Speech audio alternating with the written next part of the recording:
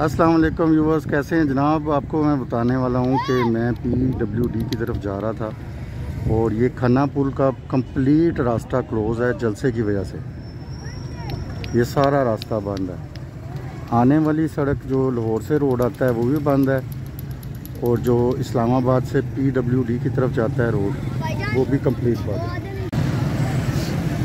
और ये रोड जा रहा है, पिंडी की तरफ़, मरी रोड की तरफ़, ये भी क्लोज़ है, ये सामने वाला रोड जा रहा है।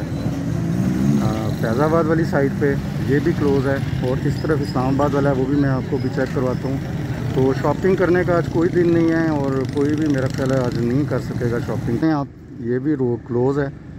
मैं निकला था आज पी डब्ल्यू जाने के लिए पी डब्ल्यू डी लेकिन नहीं मुझे रास्ता मिला। तो मैंने कहा सारा ही आपको बता दूँ, ताकि अगर आप लोग शॉपिंग करने के लिए निकलें तो आपको परेशानी ना हो। ये सारा ये इस्लामाबाद का जो मेन वो है, फैज़ाबाद फैज़ाबाद वाला जो इंटरचेंज है, वो सारा क्लोज़ है यहाँ से।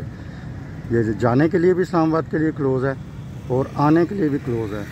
तो ये सूरत हाल है तो मेरा ख्याल है कि आज कोई मुश्किल ही है कि कोई शॉपिंग वगैरह हो सके। तो अगर आप निकलेंगे तो अभी तो ये टाइम हो रहा है तकरीबन साढ़े चार का। दोपहर का टाइम है, साढ़े चार का, लेकिन बाद में शायद और ज़्यादा सख्ती हो जाए तो जाना भी आपका वापस मुश्किल हो जाएगा।